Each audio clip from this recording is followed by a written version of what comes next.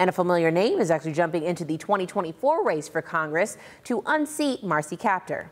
J.R. Majewski announcing this week he's running for the 9th congressional seat currently held by Kaptur since 1980s. Now, we asked Majewski about the possibility of a shutdown and if he'd support Speaker Kevin McCarthy.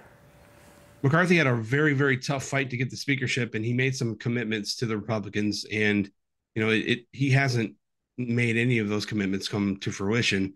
Um, a lot of those promises, Republicans like myself campaigned on.